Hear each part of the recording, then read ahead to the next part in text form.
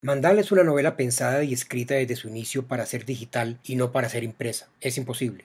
Esta novela, escrita por Alejandra Jaramillo Morales y dirigida a lectores literarios adultos, es una apuesta editorial por los nuevos modos de leer y escribir para el ámbito digital, por las nuevas formas de contar historias y por ampliar las posibilidades contemporáneas del texto literario y de los destinos virtuales de la palabra. Los mundos de Maura se entregan como un texto aleatorio que acumula historias, temas, personajes y universos narrados a través de diversas estrategias y géneros literarios. La novela puede leerse en el orden que cada lector decida, por azar, de manera fragmentada, y también está hecha para perderse. Por eso es una y muchas novelas. Unos querrán leer sobre el mundo propio de Amaura, otros sobre los mundos de los personajes que la rodean, otros quizás optarán por seguir las siete partes que componen la novela representadas en los siete colores de un mandala de la cultura muisca.